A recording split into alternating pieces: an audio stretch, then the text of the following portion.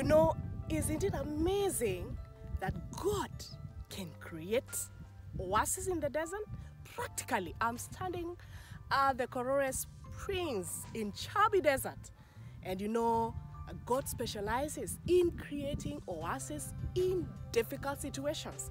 If you're watching this video and you are going through a desert situation, very challenging situation, I want to assure you that God can turn your desert into an oasis. Be encouraged, trust Him that He's able to lift you from the miry clay and do the impossible. That is what I came to encourage you, even on this CITAM Church Online video. My name is Purity.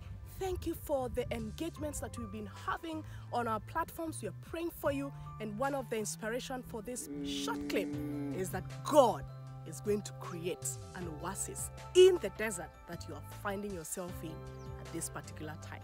Thank you for watching.